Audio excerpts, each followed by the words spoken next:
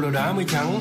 Trăng đập lên mặt trời, mưa thì cười và má hay nắng. Những nụ cười làm cho lòng đang bộn bề bồn hóa ngay ngắn. Lên trên này thấy các em, anh mới thấy mình quá may mắn. Mặt trời vàng như trứng chiên, khi mà em đứng thẳng, núi và đôi phải đứng nghiêng. Con đường quanh co quá, em trao lượng như cánh chim. Mai sau lớn em bơi giữa đời em mới khỏe như ánh viên. Dù không còn là học sinh, anh thấy mình vẫn còn phải học hành. Như cây mọc lên từ đất, phải đủ chất thì nó mới mọc cành. Học cách bổ thêm hạnh phúc, để cành đó mọc ra những điều lành. Vì nghĩ số phận là người luôn giám sát chứ không có điều hành. Nên anh mong các em sẽ không bao giờ bỏ cuộc. Vì anh biết tụi em nhỏ con nhưng mà dũng khí thì không thể nào nhỏ được. Yo không thể nào mà nhỏ được. Yo không thể nào mà nhỏ được. Kia mây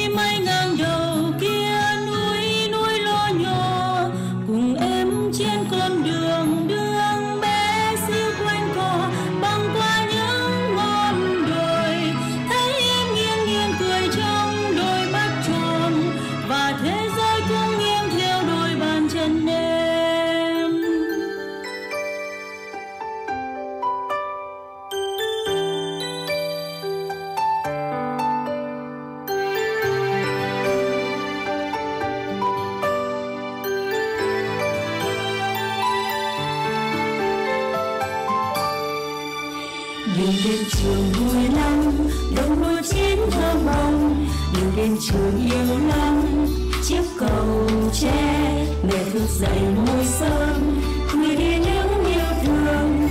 Đường đồng đường xa, vui tiếng bạn bè Đường đến trường vui lắm, có tiếng suối reo vang. Đường đến trường yêu lắm, những hàng cây Cùng thức dậy môi sớm, cùng gọi nhau nên chiều vui lắm,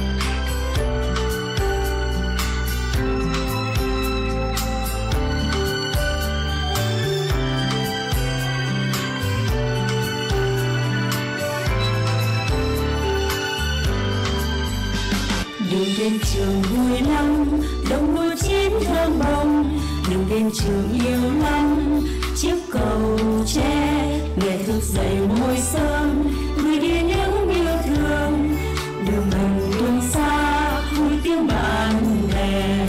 Đường đến trường vui lắm, có tiếng suối reo vang. Đường đến trường yêu lắm, những hàng cây Cùng thức dậy môi sớm,